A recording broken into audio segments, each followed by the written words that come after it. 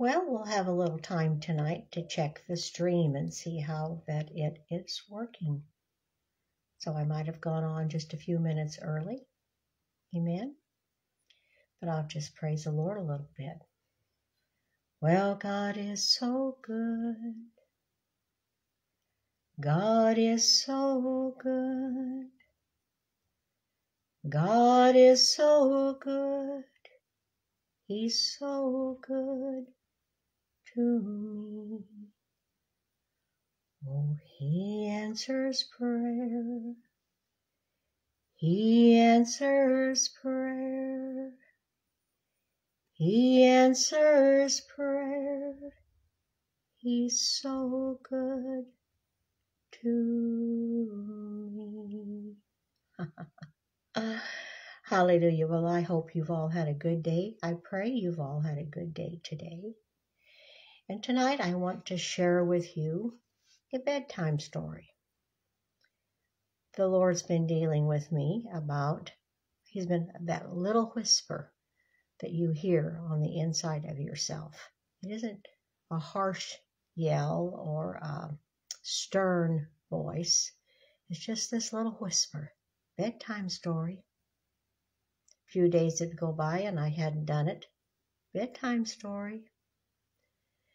So, you know, the Holy Spirit to me is like a merry-go-round sometimes. When He wants to get a point across and you don't hear it the first time, or maybe it's something you've done before, like with me with the bedtime story, and He wants me to do another one, and I haven't done one for a while. It's like He's got that little message. and It's like a merry-go-round. It just keeps going around and around and around until I finally listen and say, Yes, Lord. So tonight I'm having a Yes, Lord moment. I believe you know it was almost a year ago. It was last summer when the Lord spoke to me about sharing a bedtime story for those who need healing here on the Divine Healing page specifically. And the reason he told me to do that was because he wants you to go to sleep thinking about the power of God. There are so many things that we can think about that want to go through our minds when we get in our beds at night. I know I experience the same thing. But the Lord wants you to go to sleep thinking about the power of God. His power towards you, for you, in you, working while you're sleeping, pouring out towards you 24 7 365. So tonight, I've chosen a wonderful story from Dr. Lilian Yeomans, and it's entitled A Wonderful Tree. And in case you wonder, it's taken from this book, Healing Treasury by Lilian B. Yeomans. And it's, see, it's kind of thick. It's a compilation of four of her books. And this one in particular comes from her little book entitled Healing from Heaven. There's four little books in here Healing from Heaven, The Great Physician, The Balm of Gilead, and Health and Healing. So I'm taking the one from her first little book, Healing from Heaven a wonderful tree. And this is the story from the Old Covenant, the Old Testament, about Israel. When they came out of Egypt, they crossed through the Red Sea and they came to the bitter waters. And the Lord showed Moses a tree to cast into the bitter waters that made them sweet. And she's going to, of course, draw a parallel between the tree of Moses and the tree of Calvary. Oh, it's so sweet. Let's pray this evening. Father, I thank you for these sweet, sweet stories, bedtime stories, Lord, so we can go to sleep thinking about your power to save, to deliver, and to heal. So, Father, I just pray for each one. Lord, maybe there's someone out there in bitter waters this evening. Maybe they've had a tough day just in the natural. Maybe something bitter has happened, Father, that has hurt them mentally or emotionally. Father, maybe they're physically suffering a bitter time with a sickness in their bodies. O oh Lord, you have given us the tree of Calvary to sweeten the bitter waters. And so, Lord, I thank you tonight for the power that flows down from that precious place, from that precious tree with sweet waters to flow in, Father, and make our bitter waters sweet. And Lord, I thank you for it in Jesus' name. Amen a wonderful tree. The Lord showed him a tree. Exodus 15:25. Exodus chapter 14 dealt with the institution of the Passover and of the triumphant march of the Israelites out of the Egyptian bondage under which they had groaned for upwards of 400 years. These events, Israel's deliverance from Egypt, are absolutely without parallel in history, whether sacred or profane, natural or spiritual history. With a high hand and an outstretched arm and mighty signs and wonders, God delivered them. Oh, I just love those words. And I had to say them over and over to myself several times because that is the way that God still delivers us today with a high hand, an outstretched arm, and mighty signs and wonders. Oh, just say that to me with me.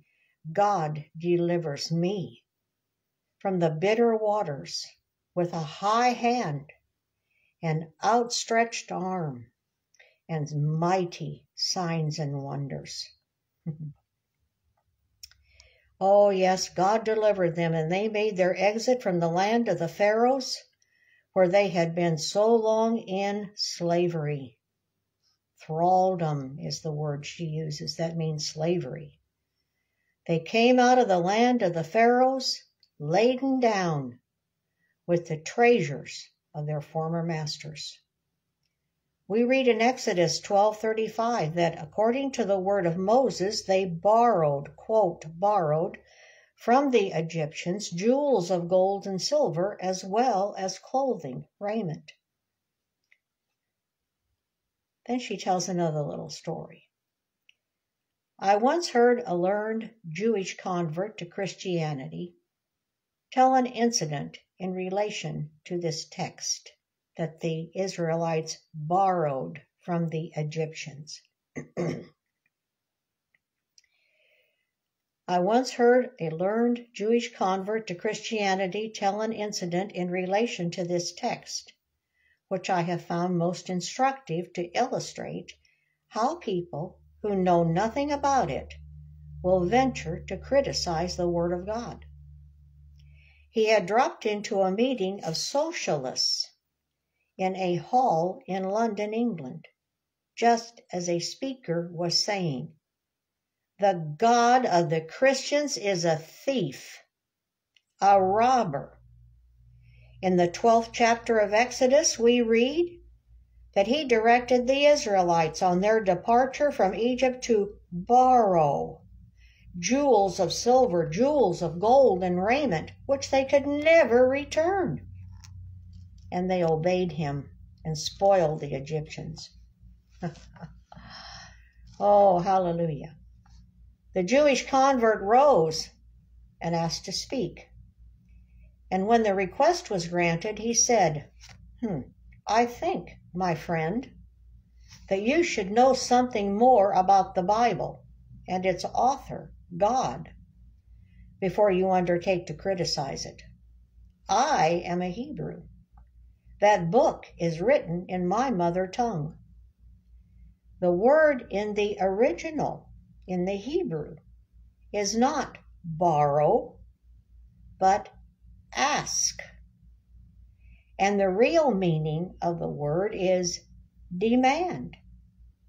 Surely you who profess to be so anxious to see all men righteously dealt with ought to be the last to object to this. Demand recompense for all your centuries of toil, for your labor, your sweat, your blood, the lives that the cruel lash of the slave master have cost? And this is what they did. They demanded, they asked of the Egyptians. Some of you might find that little story very interesting because as we read it in our King James Version, it says borrow. They borrowed them. But in the Hebrew, it actually said they asked or demanded of the Egyptians spoils and jewels and raiment. And that's one of the ways they built the tabernacle, had the essentials they needed to build the tabernacle. Well, to assume the wonderful tale, the children of Israel were led out, and by God's itinerary, they were brought to the Red Sea at a point where they were walled in by perpendicular rocks, while the horses and chariots of Pharaoh were heard in full pursuit in the rear. At God's command, oh hallelujah, they marched forward and the Red Sea. oh, glory. What, the Red Sea. At his command, they marched forward. And the Red Sea, which also heard his command. Hmm, isn't that interesting? The other night we talked about a fever hearing his command. Here she's talking about how the Red Sea heard his command. At God's command, they marched forward, and the Red Sea, which also heard his voice, piled up itself on either side, so that they passed dry shod between colossal walls of water. They reached the other side and held a jubilee of triumph. Oh, Miriam led in the dance as the maidens played with timbrels. oh, sound the loud timbrel o'er Egypt's dark sea. Jehovah hath triumphed, and his people are free. Ooh, sound the loud timbrel o'er Egypt's dark sea. Jehovah hath triumphed and his people are free. Mm. Oh, those words taste so good. Oh, every victory that you get, there's a timbrel that is sounding out in the spirit world. This phrase is going forth Jehovah has triumphed, and his people are free. Mm. Hallelujah. Oh, she goes on, but, but, alas, alas, alas. The echo of these strains of joy had hardly died away before they are replaced by murmuring against God. Oh, can it be possible? Only a short time since these people were doubtlessly saying, huh, after they came through the Red Sea, for my part, after what I've seen with my own eyes and heard with my own ears, I shall never forget the wonder of it. I can never doubt again. no, not till the next time. oh, dear, dear, dear. We do deal with these things these days too, don't we? Here we find them in Exodus 15:23 murmuring because the waters at Marah were bitter. You would think they would have thought back. that the God who delivered them, who had rolled back the Red Sea at their cry, could also remedy this trouble. But no, they murmured against Moses.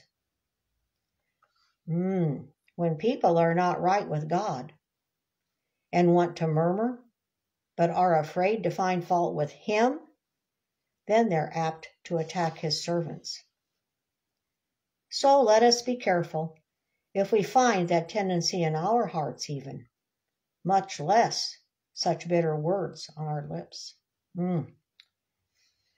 Jehovah is distinctively the redemptive name of God. Oh, yes, Jehovah is distinctively the redemptive name of God.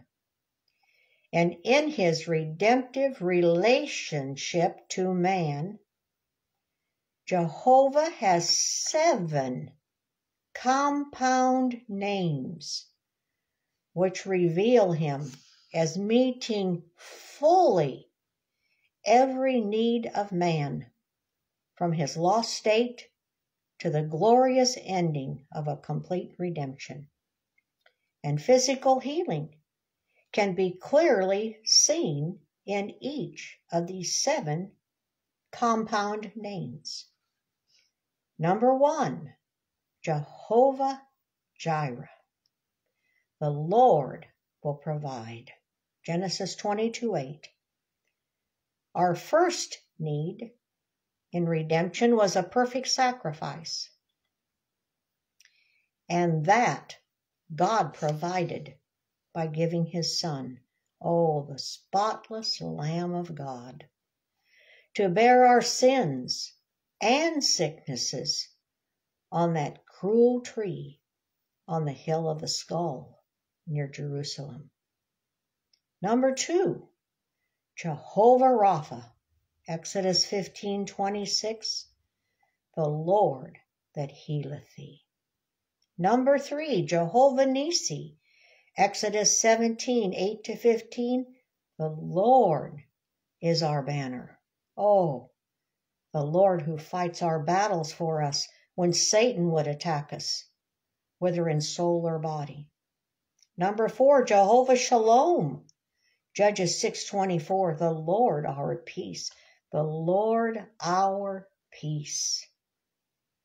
Only one who is in perfect health, physically as well as spiritually and mentally, can be kept in perfect peace. And Jesus offers himself to us. Oh, as peace for our triune beings, spirit, soul, and body. Jesus offers himself to you as your peace for your spirit, your soul, and your body. Yes. Ephesians 2:14 says, "He is our peace."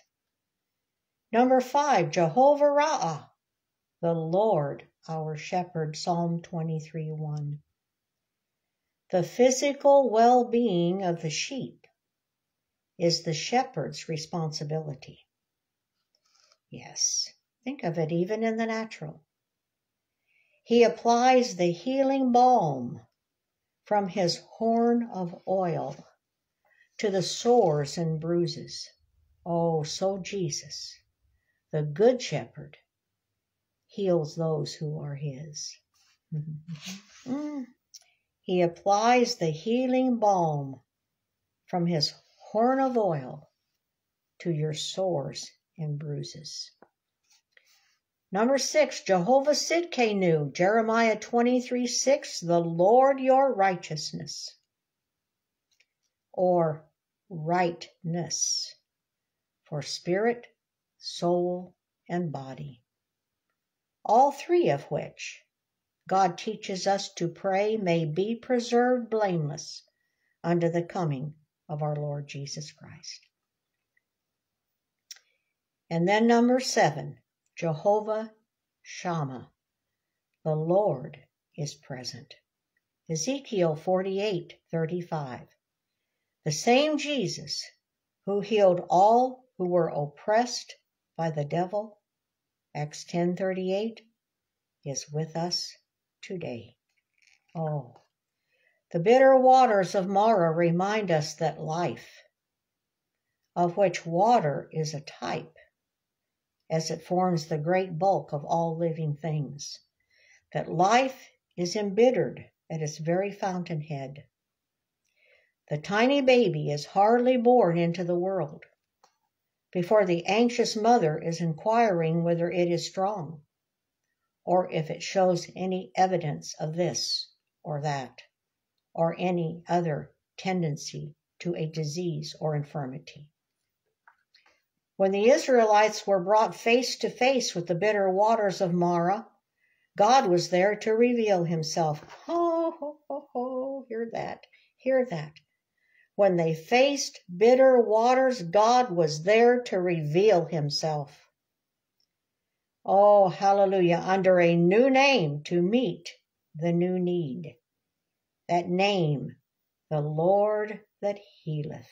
Oh, notice, healeth present tense, that always heals, present, continuous healing. And the Lord showed Moses a tree. Oh, for a fresh God given vision of that tree and the fruit it bears. Truly, as it is put in the Song of Solomon, we can sit down under its shadow with great delight and its fruit is sweet to our taste. Oh, there is a substance known in chemistry that is about 700 times sweeter than sugar. Hmm, can you imagine that? Whew, 700 times sweeter than sugar.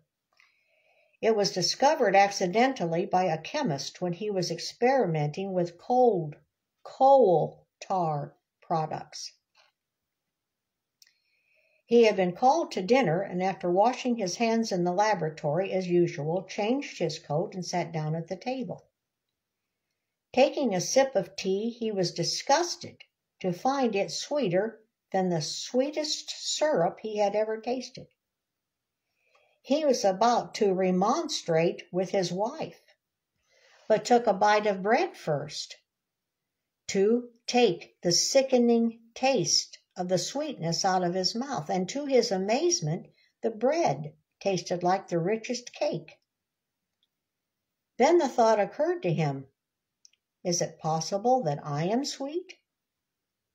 He put his thumb in his mouth to suck it like a baby, and it was as though he had a sugar plum in his mouth. To his wife's surprise, he jumped and ran to the laboratory where he carefully examined the contents of every test tube and crucible. At last he found the compound he had accidentally produced when boiling some of the chemicals together, and the vapor from which had gotten into his throat, on his lips, into his lungs, so that he was all sweetness. Oh, when we see this tree in the light which the Holy Ghost sheds upon it through the Word of God, everything becomes sweet. Yes. When we see the cross in the light which the Holy Ghost sheds upon it through the Word of God, everything becomes sweet. Then she gives a little refrain here never further than thy cross, never higher than thy feet. The earth's richest things are dross, the earth's bitterest things are sweet. Yes, everything is sweet for us, for we ourselves are sweet. Oh, nay, rather, we are the sweetness. We are sweetness if Jesus, who is the Word of God and who is sweeter than honey, and the honeycomb is dwelling and reigning in us. Oh, here Galatians 2:20. It is no longer I, but Christ who dwelleth in me. Oh, that wonderful tree that God showed Moses, that was a wonderful tree that God showed Moses, and it bears wonderful fruit.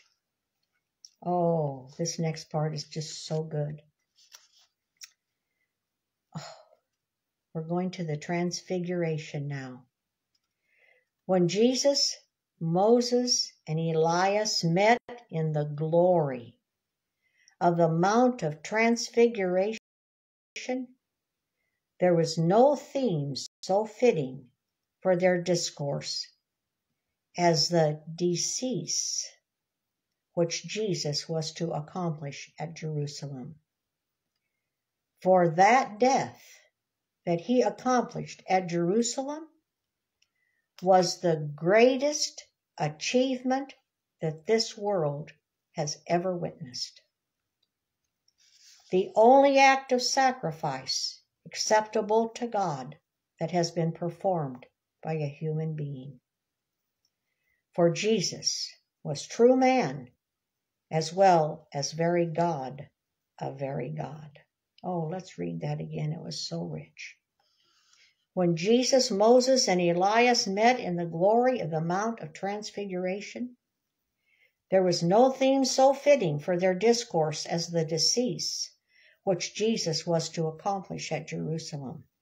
For that death was the greatest achievement that this world has ever witnessed that only act of sacrifice acceptable to God, that only act of sacrifice since the fall that was acceptable to God, performed by a human being. For Jesus was true man as well as very God, a very God.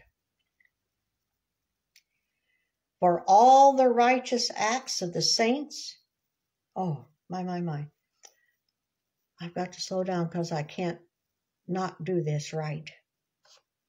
All the righteous acts of we the saints are necessarily performed in the power of that one sacrifice of Himself.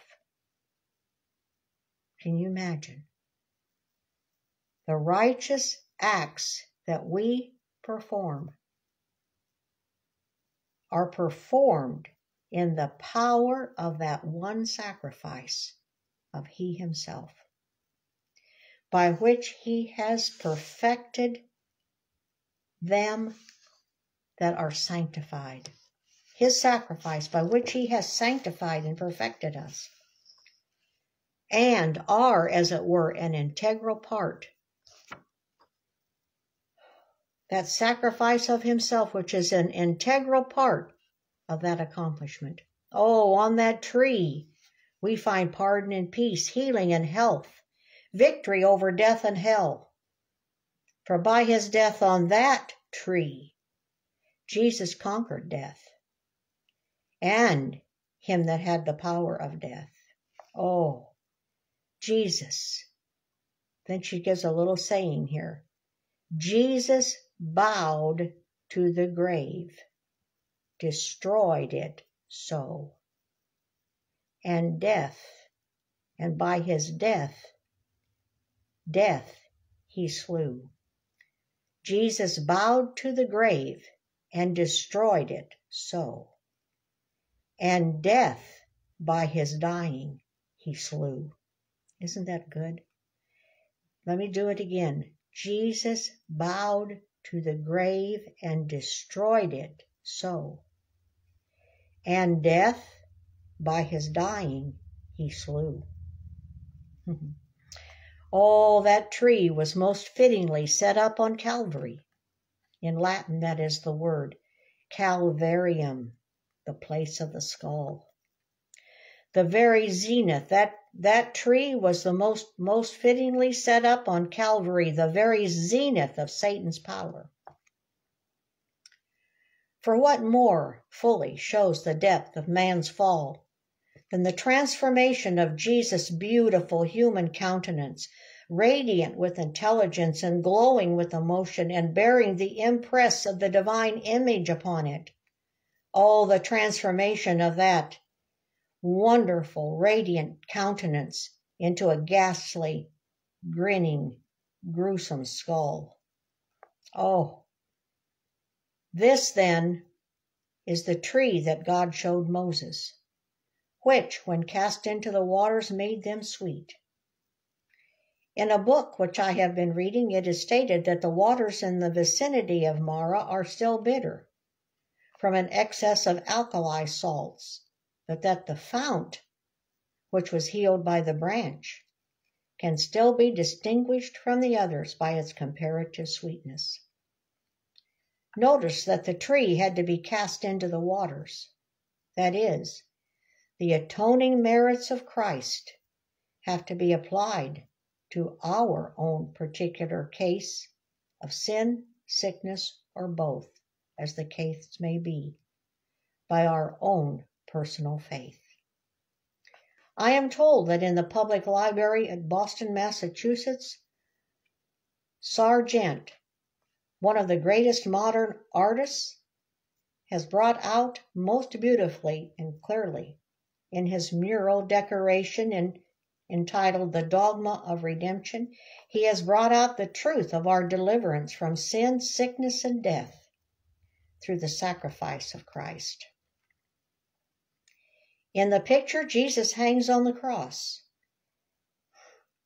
and on either side of him are our first parents, Adam and Eve. Mm, can you imagine? Oh, this painting, the cross, and on either side of it, our first parents, Adam and Eve, each holding in their hands golden chalices in which they are catching drops of the precious blood that flows from his pierced hands. Above the cross in this mural are the words, dying for the sins of the world. And beneath the whole mural is this inscription He came to redeem our bodies and to cleanse our hearts. Oh, my, my, my. In all the work, in all of this mural, there is a strong line drawn between the, the celestial and the terrestrial, the heavenly and the earthly. Oh, a strong line drawn between the two of them. But the uplifted cross breaks through this line and lets heaven and earth run together as one. Yes, there is a strong line between us and the supernatural where God is before we're born again. But the cross pierced that line. And now we live. We're dual realm people. Oh, the uplifted cross breaks through this and lets heaven and earth run together as one. Oh, praise God. That is what the cross does for us. The cross itself is upheld in this mural. The cross itself is upheld by angels whose faces are radiant with bliss as though they comprehended the final, fullest, most glorious purpose of God in the supreme sacrifice, and they cannot contain their joy. Also in this painting, this mural, are the instruments of agony the scourge, the hammer, the spear. And all are held in the hands of angels who are bathed with the rest of the scene in unutterable glory. Oh, may God in His mercy show us the tree capital T, the tree. And when we see it, may we apply it to our hearts and lives, our spirits, souls, and bodies, so that we may become the very sweetness of Jesus. Oh, Exodus 15:25 says, "There he made for them a statute and an ordinance, and there he proved them at the bitter waters." The Word of God always proves or tests us. Some people say, I will try God's promises for healing. no, you won't. They will try you. God's promises are tried and purified seven times and forever settled. You are the one that is on trial. God is not on trial. His truth reaches to the heavens and his faithfulness to the clouds. He made this statute and ordinance, and they have never been repealed. He sealed them with his covenant, and forevermore he is Jehovah Rapha, the Lord that healeth. Oh, yes. That tree cast into our lives will remain, remove every trace of the bitterness of sin and rebellion from our lives and make us sweet with the heavenly sweetness of our Lord. Then we can claim absolute immunity from all the sickness that was brought by God in his righteous judgments on the Egyptians. The great poet Dante has placed in his poem Inferno over the portal of hell the well known words All hope abandon ye who enter here. Oh, but as we enter as little children into the kingdom of heaven through faith in a crucified Savior, we read the golden letters All fear abandon, ye who enter here. For he hath redeemed us from all evil, and will preserve us blameless, spirit, soul, and body, unto his glorious coming. Hallelujah. He has redeemed us from all evil and will preserve us blameless in spirit, soul, and body unto his glorious coming. Thank you, Father. A wonderful tree. Oh, you should go back and look at the picture that I posted with the announcement I made of doing the bedtime story this evening. Now that we've seen the ex or heard the explanation of it, Jesus on the cross our first parent standing there, catching the blood dripping from his hands in golden goblets. Hallelujah. Oh, the angels, the whole mural radiant with unutterable glory. Oh, and the statement that she made. That death was the greatest achievement that this world has ever witnessed so true. And it is the greatest event in our lives, also individually, that we've ever witnessed. I shall never forget that day when, by the light of the Holy Spirit, I saw that tree and what it had done for me. Let's pray. Oh, Father, we deal with bitterness. We deal with life, its irritations and frustrations. But Lord, when we can just, in our imagination, step off this world and step out there like in space, in the spiritual realm, Lord, where you are, and we can see that tree, that wonderful tree, and just gaze upon it for a little while. Looking, Father, as the angels do, as they looked upon it, as Adam and Eve, Father, marveled at it. Oh, she to whom the first promise of redemption was given, the seed of woman shall crush the head of the serpent. Oh, Father, let us never lose sight of that wonderful tree. For on that wonderful tree all the things that you desired for us from the foundations of the world came to be.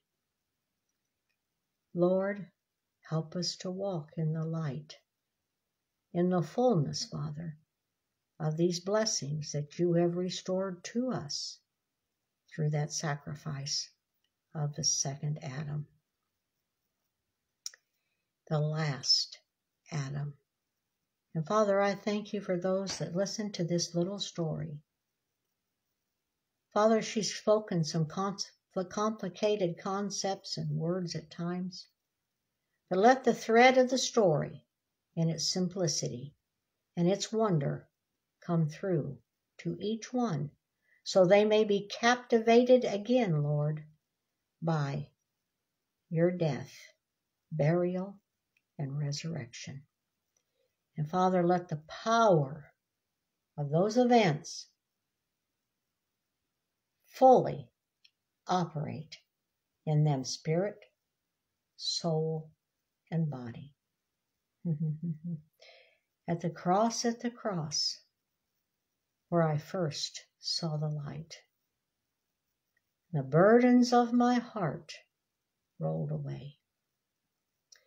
It was there by faith I received my sight. And now I am happy all the day. Good night, everyone. God bless you. Go to sleep thinking about that power that split the Red Sea and makes the bitter water sweet.